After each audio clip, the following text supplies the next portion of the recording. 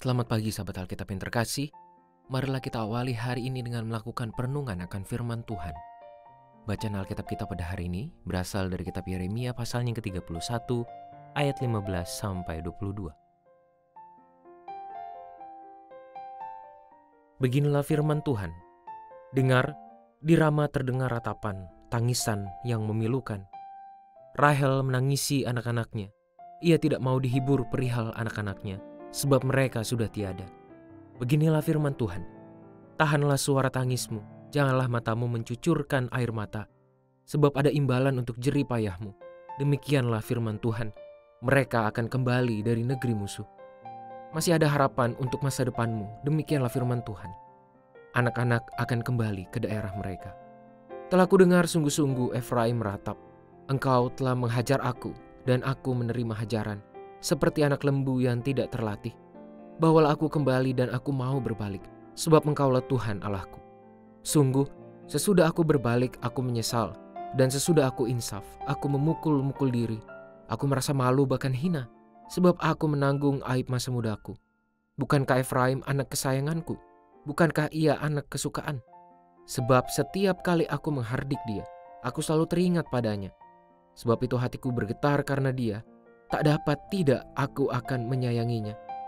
Demikianlah firman Tuhan. Dirikanlah bagimu rambu-rambu jalan, pasanglah bagimu tanda-tanda jalan. Perhatikanlah baik-baik jalan raya, jalan yang telah kau tempuh. Kembalilah hai anak darah Israel, kembalilah ke kota-kotamu ini. Berapa lama lagi engkau maju mundur, hai anak perempuan yang durhaka? Sungguh Tuhan menciptakan sesuatu yang baru di negeri. Perempuan merangkul laki-laki. Kondisi yang sangat buruk bagi hidup beriman seorang umat Tuhan adalah pada saat ia tidak mau mengalami perubahan dari keberdosaan. Lebih parah lagi ketika ia tidak menyadari kesalahan yang ia lakukan. Pada titik inilah ia sedang mengalami stagnasi kualitas diri dan imannya sebagai manusia yang mengaku percaya kepada Tuhan.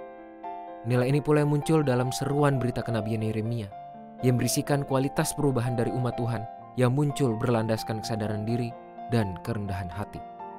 Tuhan menunjukkan kepada umat Israel yang sedang bergumul hebat dalam pembuangan bahwa penyesalan diri dalam ketulusan akan membawa mereka untuk mengalami janji pemulihan Tuhan.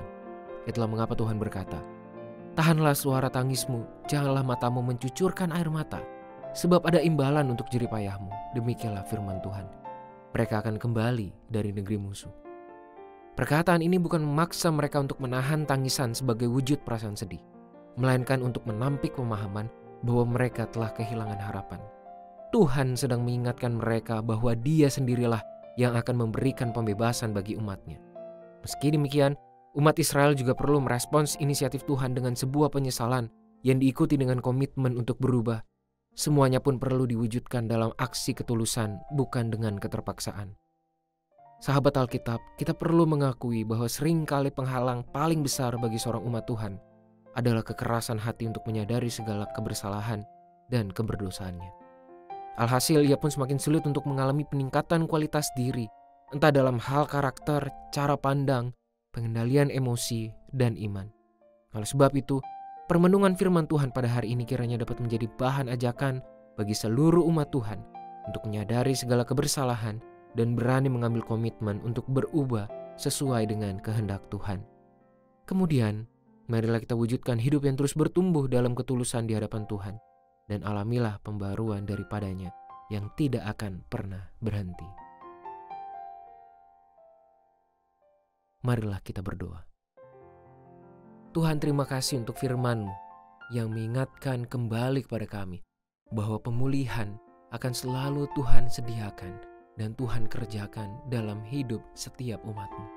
Tolong kami Tuhan untuk bersedia mengalami perubahan dan melakukan perubahan dalam ketulusan, melepaskan diri kami dari segala kesalahan yang masih sampai saat ini kami nikmati untuk melakukannya.